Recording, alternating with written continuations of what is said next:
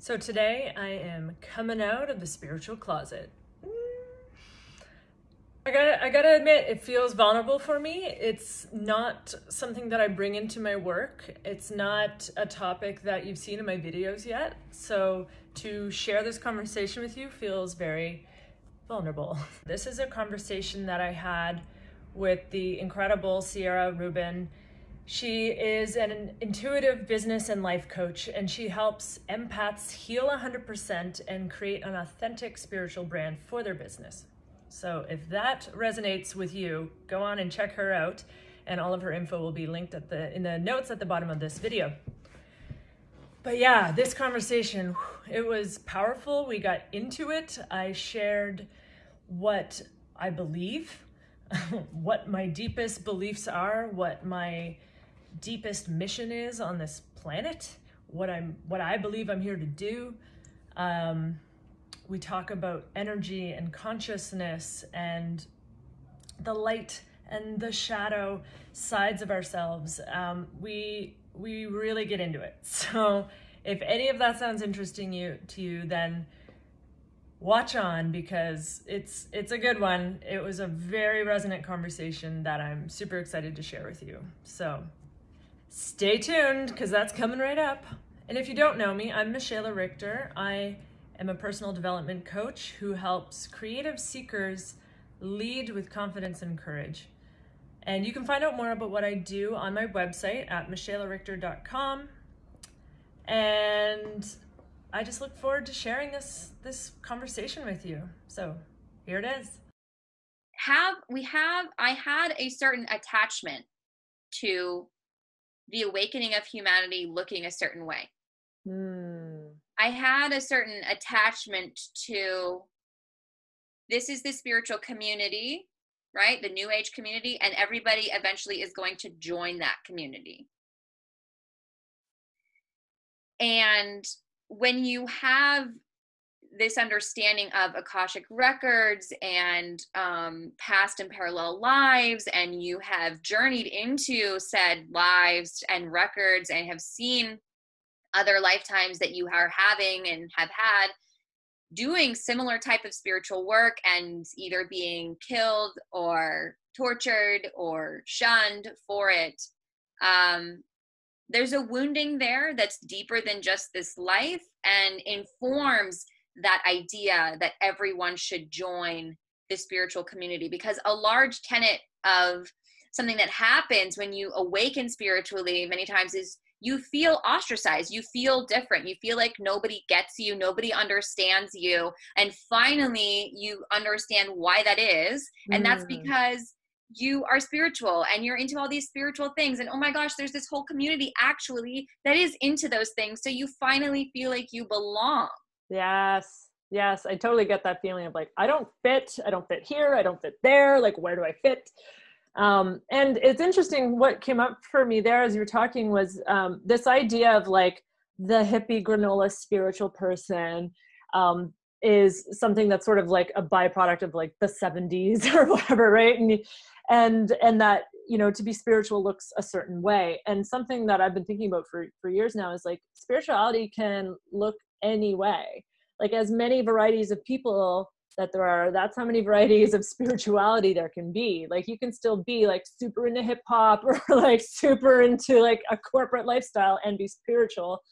And um and so so what is the thread that binds that all? And i think it's um an awareness of the power you have to the impact that you can have on your own life and the lives of those around you. Mm-hmm. Yeah, something, I love that. Something along those lines. Yeah, that totally makes sense because spirituality comes from within. Mm-hmm. It comes from within you. It is not a religion, though it can become mm-hmm. a religion when it stops being about being spiritual and starts being about doing mm-hmm. spiritual. You know what I mean? Yep. And and I'm not here to stand in judgment of the people that are stuck in that loop, that are stuck in that in that operating from that wounded place of I never belonged. And so everybody needs to belong where I belong because mm. this is the true nature of humanity in the universe. You know, I have compassion for those people because I was one of those people. And um, I totally get why they're stuck in that loop. But no it's not going to look like that we're not and uh, and if you do resonate with that with you know dreading your hair and wearing beads and you know moving to bali for half the year i mean i want to visit bali don't get me wrong yeah. Just walk um, around with a didgeridoo, like yeah. right. And if that really truly resonates with you, that's beautiful. Um, it can start to become dogmatic. It can mm-hmm. start to become a, a religion, just like anything can. Science can be a religion. Atheism can behave like a religion. Mm. Any sect can start behaving dogmatic and like a religion if you follow it blindly without questioning that that's why i believe the true nature of spirituality is to question everything question yourself and like you said mm. the people around you and make that impact first on yourself and then on people around you mm-hmm, mm-hmm. and to bring the idea of frequency in there. I um, have you ever read Power versus Force by David Hawkins? No. It's really good. It's um he was a, a doctor. He did like 20 years of testing, like muscle testing, um, and like kin- kinesiology muscle testing. And, yeah, I've heard um, that's really powerful work. Yeah. Yeah, and so he actually was able to create data where he actually created um, a, a spectrum of consciousness um, and all of the emotions that um, exist ranging from shame to enlightenment right so from like the deepest darkest of emotions of vibrational frequency emotional yeah. frequency up to like the highest with like neutrality in the middle and he was actually uh, able to create a numerical value for each one cool. based on like all of this data that he collected so the idea is um, if you are in the frequency of shame, like there's very little energy available to you, right? It becomes like if you're deep in shame, like you can't, like the thought of going to have a shower it feels impossible, right? Whereas when you're like in like full enlightenment, like I'm not, I don't know that I've been there, but like even let's just say joy is like up there, you know, like if Certainly. you're just feeling your joy, like that the energy that like radiates off of you is powerful it's a powerful force and you you know you just have spring in your step and you can do anything right? So it's like that the the energy so all of this to say like frequency and energy um like we exist in somewhere along that spectrum always at some given point and that can move around like what um day to day month to month year to year but moment to moment even but um having an awareness i think spirituality is having awareness of where on that spectrum you are and constantly like seeking to raise that. So I, right. I have this chart right here that i'm just obsessed with. Ooh. sticky tack to my mirror. There we go. Um, so this is the consciousness chart. Oh i need that. Yeah so i can send that to you. And then, so yeah. it's the idea of like when you're in the negative zone um, the only power power power you have is actually force, right? You have to like force mm-hmm. things. When you're in the positive zone, like that's when it's just true power, right? That radiates out of you and yes. and power is so much more effective because it, it's like encouraging others to act from their power versus like forcing people to do things because you said so or whatever right? yeah through fear through, yes, fear. through fear and i think that's why we're finding i don't know how you feel about delving into this topic i don't necessarily want to delve in it into it too deep but with everything that's going on in the world right now um, you know we're seeing many examples of different leaderships trying to force trying to use fear to make things happen and make things um, turn out the way that they're hoping. And mm-hmm. it's not working. Mm-hmm. It's not working. And i would say i would say you know that this is this idea of force and the way that it's being expressed through leadership across the board uh, not across the board but across the world in different areas is is a representation of the death of you could call it the patriarchy but i like to call it the imbalance of masculine energy mm-hmm. and you know we're seeing the rise of the feminine and so what is what does that mean that just means that there's a rise in in true power and not yes. that the masculine can't have true power you know it's just in its shadow expression mm-hmm. it uses force mm-hmm. you know and so the feminine now the feminine energy every single person has feminine energy within them no matter what gender they resonate with yep um you know that feminine energy is rising within each of us to say we can have the power of receiving we can receive joy we can receive mm. energy we can receive um, you know spiritual experiences and our spirituality and utilize that true power to create from. We don't have to use force. We don't have to use fear. Um, yes. we can do things differently. Yes yes. And and I, and I think you know it's interesting when you think about the individual um, that power and force can exist in in your personal experience as well. Because when you're in the sort of lower registers like you have to force yourself to do things. You have to force yourself to like get up and do the chores or whatever right? Whereas when you're in your power it's effortless because right. you're you're empowered.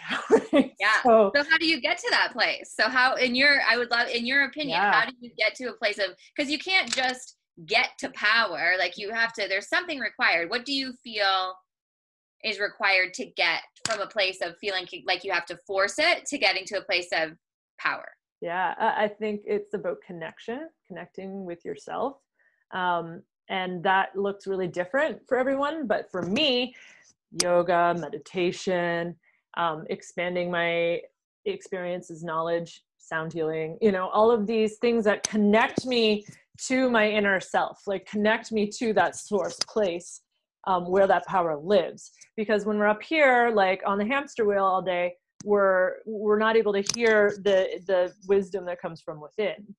And so the more that we can get in touch with our intuition or in our inner guidance our soul whatever you want to call it the more our our power rises. But there's so many ways that we block that right? Yeah. Um so so for me like when i'm talking with my clients about this i'm like imagine you had an energy bar on your arm that goes from like red to yellow to green and when you're feeling your very best, you're in the green. When you feel your absolute worst, you're in the red. And like we want to kind of catch any dips like in the yellow zone before we get down in the red zone because it's a lot easier to get back up to green from yellow than it is from red.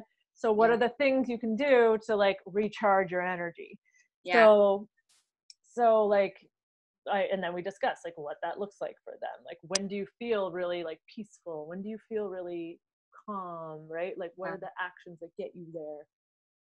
So yeah that's, that's cool. I love that you're kind of like you're like okay let's bring the impact. Okay what's going on down here? All right let's shift that and let's focus on this up here. And then i'm down here i'm like yeah this happened. Okay let's work through this. So let's move yeah. let's move let's move you know? And yeah. so it's i feel like what we do really complements each yeah. other and i think everybody at different stages of their journey need different different approaches. Totally. Totally. Um God, there was something else that just came up there.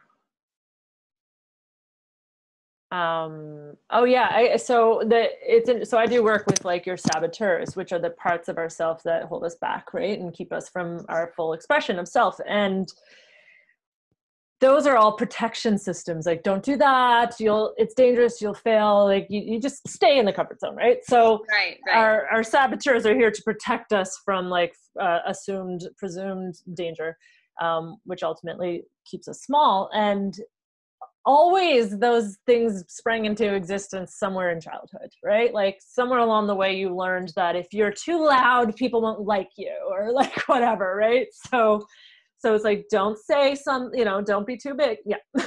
so, like, so yeah, it's uh, it's so interesting, like how you know this people pleasing and perfectionism and all this kind of stuff like springs into existence um, in our childhood. So I think it's so important that there is a space to explore that and, and do that work as well. So I agree. I think what we do definitely complements. And and I have clients who are like, I feel like I need to do some inner child work, you know, and um, that's just not. I don't specifically do that, but now I know who I can refer them to. Yeah, definitely. Yeah. And I and I'm such a a big believer too in that whatever is going on inside of you is going to be reflected in your business and in your brand. Mm-hmm. Um, and so you know especially because so many of us are creating you know personal brands coaching businesses course businesses. Um was it sunny? I, over and over she keeps saying you know by 2025 the did the online course industry is going to be a billion dollar industry. yeah, yeah. so you're not too late. Like you're getting in right at the right time. And you know um it's just it's the time for the especially so many women so many women to create their personal brands to create mm. their businesses to create their work that is going to help other people. And you know what you said that pyramid effect eventually we're all going to help uh, people. And that's that's what i've been like ruminating on. And that's what um, i recently made uh, my latest um, like freebie is a quiz. And it's based on all of the mistakes that i made um, and am still making uh, in my business um, and how it relates to personal stuff. Like so the, the quiz is what's your brand's fatal flaw? So it's like you know oh my gosh everybody what's going on with my brand? Like i want my brand to be good. So then you go in and you, based on the questions then you figure out oh this is what's going wrong with my brand. And then you get a thing a free and it's like oh yeah but this is what's really going on. Um and often it connects back to childhood. Um so yeah that's that's really what i've been playing with. I don't, i wonder what your thoughts are on your brand and your business being a reflection of what's really like what's going on within you. Yeah absolutely. I, I was thinking about that just the other day because i'm at a stage where i'm really starting to like work on the nuts and bolts of my business and like getting the email list and getting the opt-ins and like doing this like youtube and whatnot right? So like i'm trying to get a more of a handle on my on my marketing yeah. and brand. Um and prior to that i was just in this stage of like transitioning careers. I was a hairstylist for 15 years. So hair is beautiful. Oh well thank you. Gotta represent. So i uh so That's I just I, can you come do my hair? Nobody's getting their hair done these days. Even myself, I'm like, oh, these split ends. But um, so so initially, like the my I've been in this for three years, but I was doing hair while building this business on the side. And initially, all my posts were about like confidence and believing in yourself and you know all this because that's what i was going through and like following your passion and you know having that space to like like really working on like letting go of the self-doubt and the saboteurs and la la and finding your inner leader and, and all of this and connecting with your true self. Um, and now i feel now it's like all right career transition la la and how to like yeah i think even just in the conversations i'm having with my clients it's more about like what's my message? What's my why? What's my you know like this kind of stuff. So it is it is of course a reflection i think. Like it, yeah. it can't help but be. Because you it, it's sort of like oh, something i heard was if you want to find your niche look in the mirror. Which is easier said than done because it's hard to like see the forest for the trees you know? But when i came across because i was like i don't know what's my niche? Like entrepreneurs? Like you know and like, so then when i came across the idea of creative seekers i was like okay that feels a little more focused and it yeah. feels very true to who I am. Like I'm somebody who like paints and sings and you know, like I've always been a very creative person. So and I've always been sort of seeking some, you know, seeking like whatever the answers my spirituality. Yeah. So so yeah, I think um I, I think that for a brand to be authentic, and that's such a big buzzword these days, is is that it must reflect you. Yeah. Yeah. Um and i don't know if we've talked about this since uh, we pressed record but i want to talk about it. Um because you mentioned seeking and and all of that. So when it comes to spirituality and coming out of the spiritual closet do you think it's important to come out of the spiritual closet or not? Honest honest feelings and also if you do feel like it's important at some point in some way to come out of the spiritual closet what do you think is the best way to do that hmm. okay so first question was how do you or is, is it, it is it important do you think it's important if you are a spiritual person mm. and you are you know having a brand online mm-hmm, or you're mm-hmm. wanting to have a brand do you think it's important to um, come out of the spiritual closet um, I think that it's important if that is um, an important part of how you're operating your daily life. I get, see, for me, it's like, it's kind of like I would love for it to us to get to a place where it's not necessary because it's just assumed like yeah we're all spiritual like probably our children's generation right it'll be like we don't need to like market that I'm a soul coach or I have I hold goddess circles because right. like that it will just be assumed like if we're having a circle it's a circle of deep authentic connection like we don't need yeah. to call it a, a goddess circle. But I don't know again I don't know I don't have any problem with that but it's just in my business i i guess i like to lean on the things that really are, are very um functional right? So intangible so that it can be understood by anybody so i'm always trying to find like what is like the basic truth here that's inarguable mm. um, without having to have had a spiritual experience. Like I can communicate with people who've had a spiritual experience because they've been there, but how do you describe that to someone who hasn't experienced that? Right. Yeah. But people understand self doubt. People understand confidence. Right. But if I'm talking yeah. about like your shadow side or your, your soul or right or your true self, like or your ego, you know, like not everybody has that language. So not everyone's going to connect with that. So Oh, okay. Here's a more clear answer as I meander around this question. Um, it depends on who your target client is. Do you want to work with people that are sharing a language and experience that you are? Is that important to you or not? Right. So if you do want to work with someone who resonates with like that language, then then use it in your marketing and your, your branding.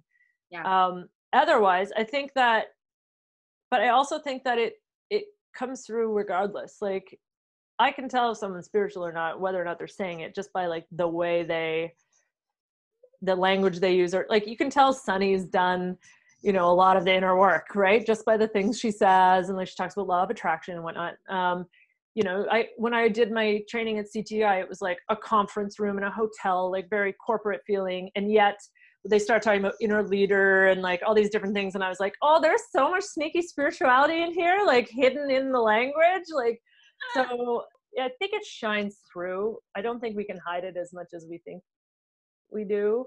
Yeah. Um, and I imagine like with the YouTubing, like I'm just beginning, so I'm I'm keeping it very like digestible, I guess, and trying to make it very clear for anyone.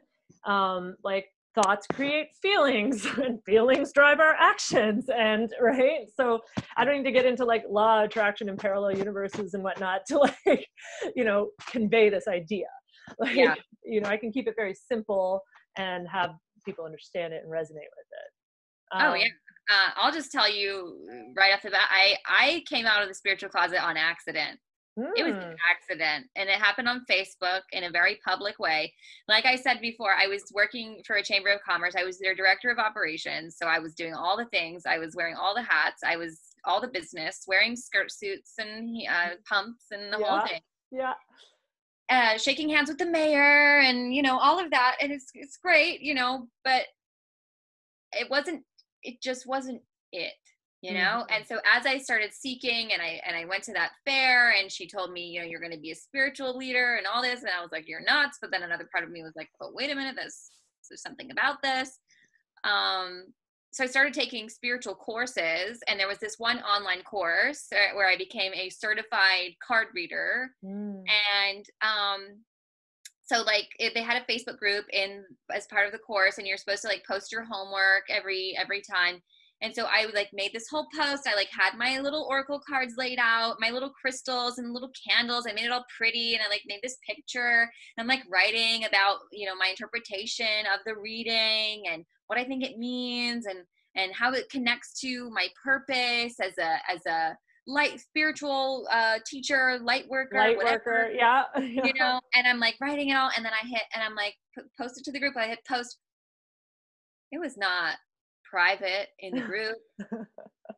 that was that post went public to everyone on Facebook that I was friends with. So all the people that I worked with, all of my family, all of my friends from high, from people that I went to high school with and college, and all those people started liking it. Ah, because it's like I don't even know why they were liking it, but it was just like like every like there's crystals and and and every everyone knows like there's no way around this now so it was just like well might as well yeah. might as well just move forward so many so many spiritual um business people they they create like fake names or like brand names whatever i was just like screw it Yeah. i'm using my real name yeah. This is- Yeah. I, don't think it's something to hide. And I and I wonder like yeah, I don't it's weird. I, I don't know. I guess I have to explore my relationship with this a little more, but I, I'll share stuff and I'll post about things like you know, I've got my crystals and I got my tarot cards and I have all my sage and everything here, you know, but in no way insinuating that like you need to come out. I'm Mhm. genuinely just interested in your opinion on it, and, Mhm. and and I think what you said is really, really valuable and valid. That it just shines through, and Mhm. and I think you know my next question uh, that I want you to I want you to answer about the awakened humanity is like it's like it's just gonna be like that. Like one day we won't have to come out of the spiritual closet anymore um, because everybody that we're co-creating our life with or our businesses with or our reality with if you want to think it from a law of attraction perspective um, will all be tuned in to that kind of idea Mhm. um, but in that vein what do you think an awakened humanity would look and feel like I think that it would be so one of my mission statements is like I'm here to help raise the consciousness of the earth. Right? That's my work as a light worker. yeah Um, and it's interesting to think about well, what does that actually look like? And I'll try to say this succinctly, but I imagine it to be a world where people are aware of their personal power and aware of their impact on others, and therefore there's more harmony in the world. Mm, Things are operating harmoniously. yeah. And Yeah. i think that there's there always has to be a continuum. There always has to be the yin and the yang right? And like the light and the dark. So how does that fit into the equation? Well there's more support and there's more education and awareness of how to move through the dark times. Yeah.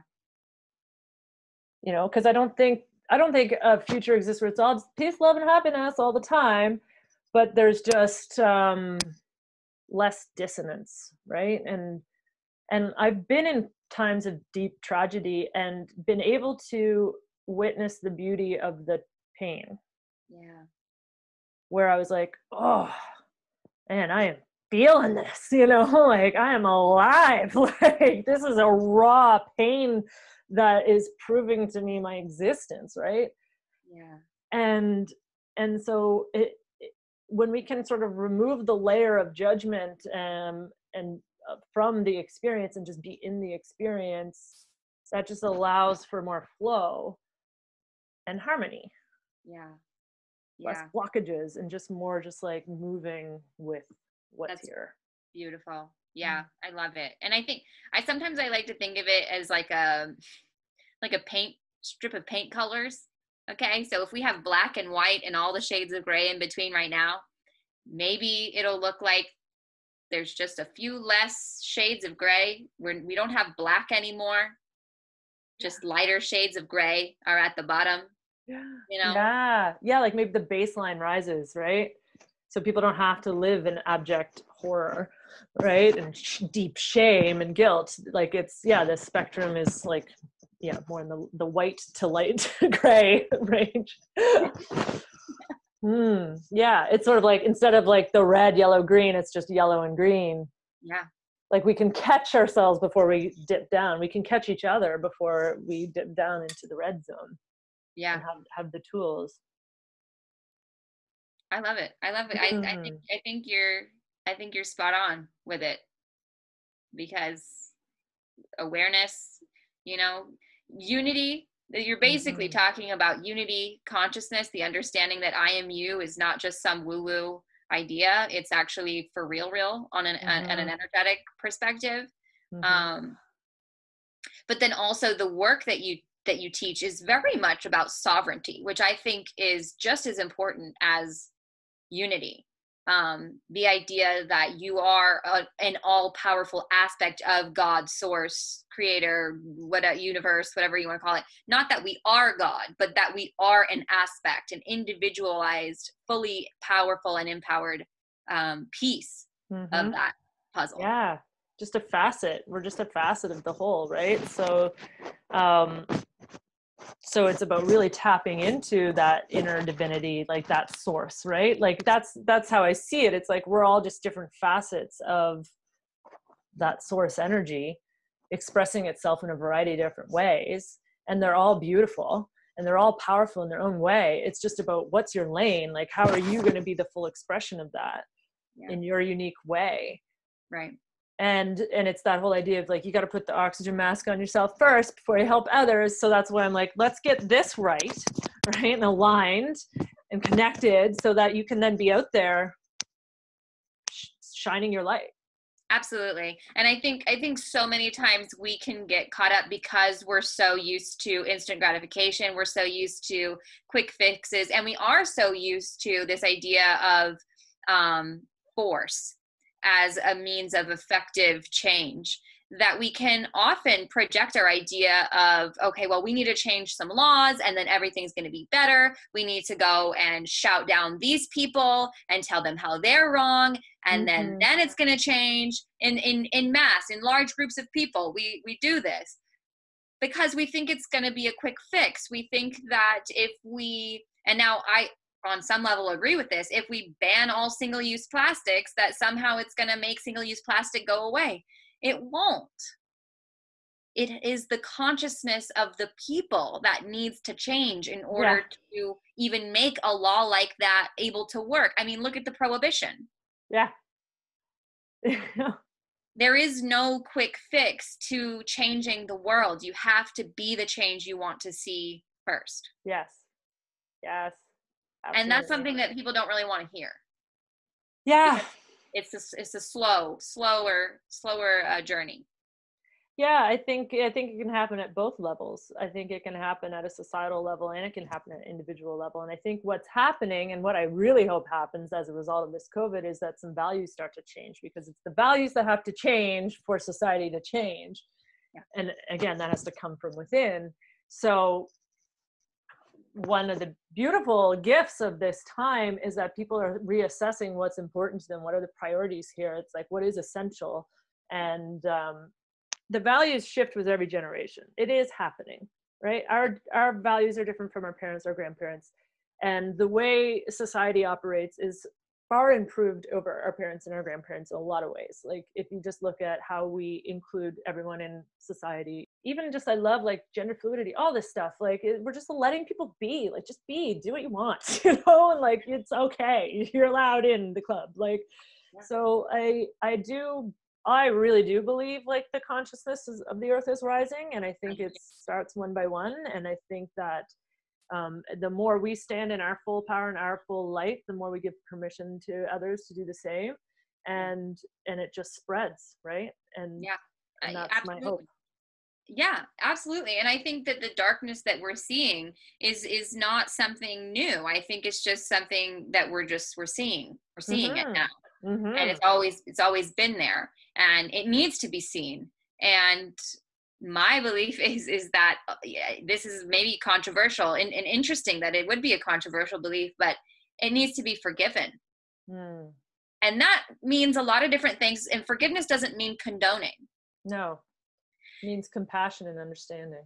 And that means that on an individual in your individual life and on a societal global scale. We need to forgive ourselves for the ills of humanity. We need to forgive ourselves for the ills within us. We need to forgive ourselves for the darkness that's been perpetuated by humanity for the last however many thousands of years. Mm-hmm.